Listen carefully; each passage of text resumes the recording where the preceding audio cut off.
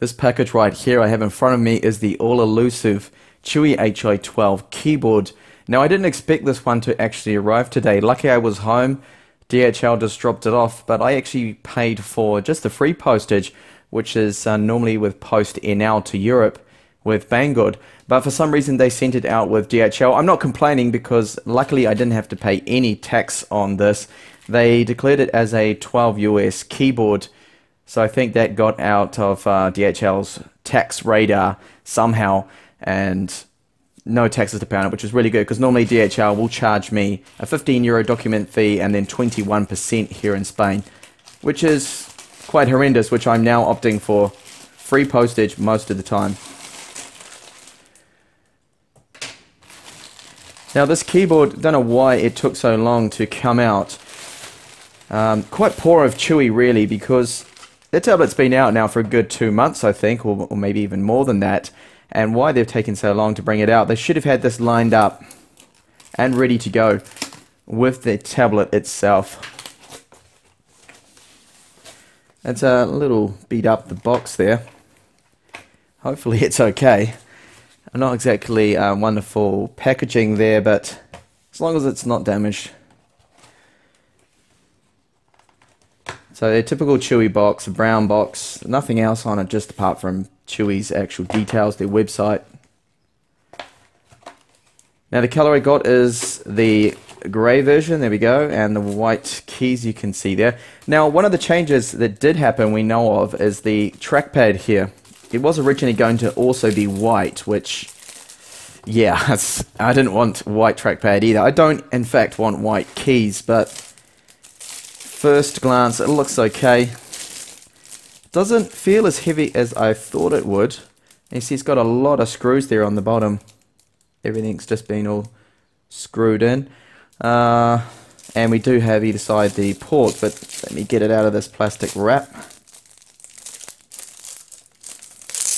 Take a closer look at it. Alright. So we do have a couple of little rubber feet at the front there you can see, which is good. That's hopefully going to keep the uh, the screen from touching and getting all scratched up. So let's have a look. There's a bit of flex in it you can see. Uh, I'm pushing down relatively hard here. And we do have status LEDs. If I move that up a little closer to the camera there, we have one for number lock and a caps lock there. And also F11 function F11 is going to disable the trackpad, which is good. And a few other options there. Print screen button is via their function. We have home, page up and down, end. And just have a quick. Seems okay. The travel of the keys there doesn't seem too bad. And another look there. We've got white rubber feet on the bottom. They should have gone with grey as well on that. Now the material of it is, I would call a rubberized paint job. There's no other real way to describe it. And it looks like it's going to be fairly fingerprint resistant there. But I do know for a fact that this material does tend to scratch a little and quite easy. Now the hinge mechanism, that seems to be very tight there. Uh, looks quite Okay, these are pogo ports there, but it's a little rough if you can, get, if I can get the camera to zoom into that, focus on it, I should say. Yeah, it's, I wouldn't say wonderful quality there. You can see what this part at least is metal, and there's the pogo pins there. So I'll quickly have a look at the weight, and then I'll get my Chuwi HI12 connected up to it, plugged into it. Okay, so it's 741 grams. That's reasonably heavy for a keyboard. But they've had to have obviously put a counterweight in here. There's definitely feels like they've got a bit of metal in there. So here is my Chuwi HI12.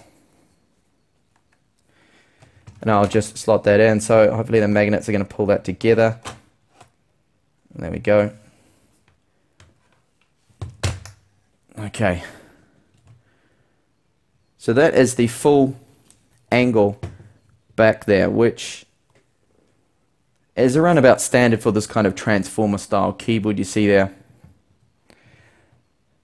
If they had it back any further, you'd have risk of tipping it over. Now I can tap it, and there's a bit of wobble there to it, but it doesn't feel like it's going to completely fall down or anything, which is good. And in person, actually doesn't look too bad. And ideally, I'd like those keys to at least be a dark grey or black, but doesn't seem that bad to me. Let's have a look at the uh, the trackpad.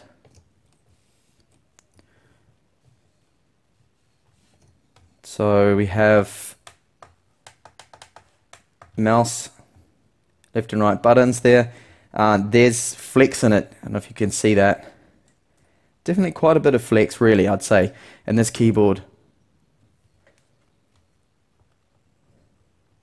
Probably due to the fact that they just used plastic there on the top.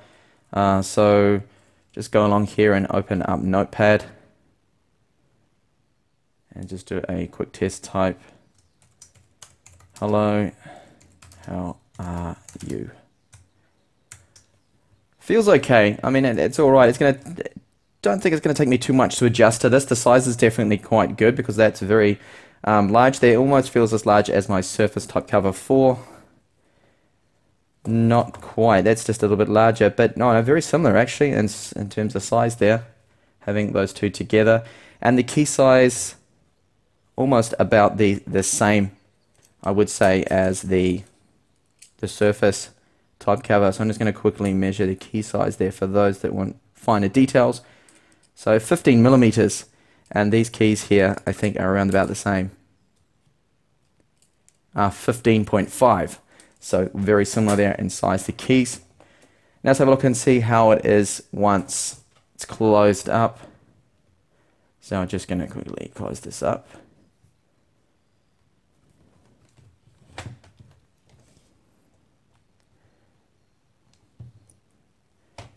How that is together. So there we go. It's the one whole unit. Doesn't look too bad.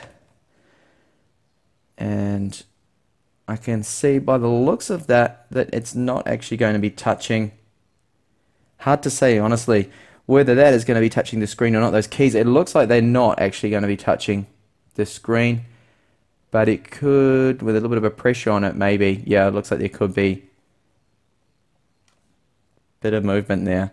So if you do have this in a backpack or something, there actually I think there could be a possibility that the keys, at least the bottom row, might actually touch the screen there. And we can also flip it up, I think, and use it in tent mode. Or flip it around, like a presentation mode.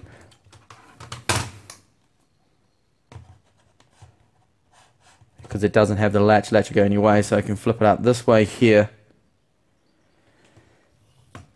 And oh, look at that. The weight of the tablet is making the, the hinge actually fall down on its own. There it's going to stay up by itself. If I move it to about there.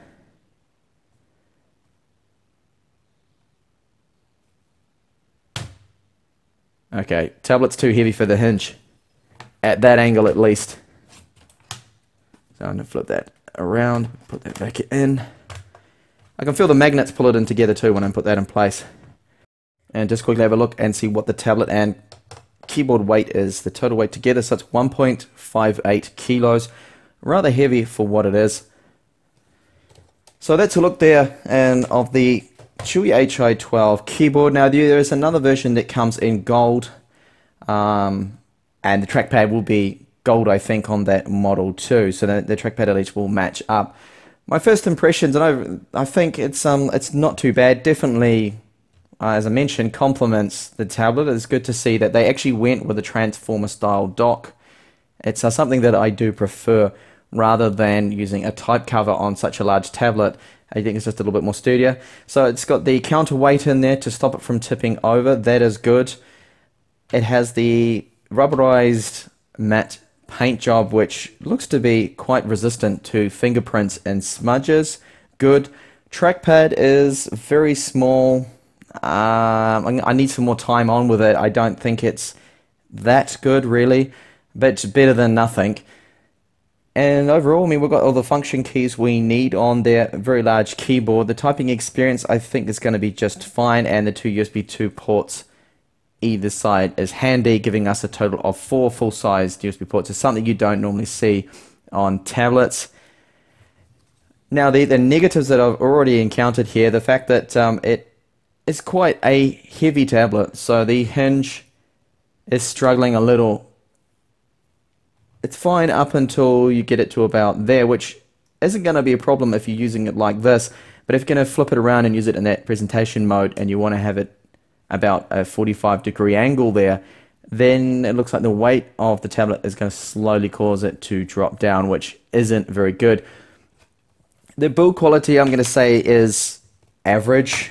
I mean, it doesn't look too bad, but there definitely is a bit of a bit of flex in there you can see, and the keyboard definitely has flex there on the hinge.